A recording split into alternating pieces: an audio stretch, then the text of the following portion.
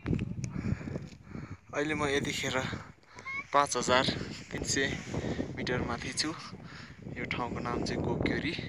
तपाईँले अहिले देखिरहनु भएको यो अगाडि फर्स्ट लेक चाहिँ दुध पोखरी अथवा गोके लेक पनि भनिन्छ र सेकेन्ड र थर्ड र यतापट्टि देख्नुहुनेछ तपाईँले।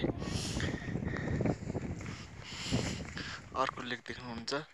यो यो पाँच पोखरी मध्येको यो चारवटा पोखरी र यसकै पछाडिपट्टि साइडमा चाहिँ एउटा पोखरी रहेको छ जुन हामीले यहाँबाट देख्न चाहिँ अलि सकिँदैन। यो अहिले देखिरहनु भएको चोयु हिमाल हो। अहिले ठ्याक्कै अगाडि देख्नुभएको माउन्ट एभरेस्ट। एन्ड र पछाडिको चाहिँ मकालु।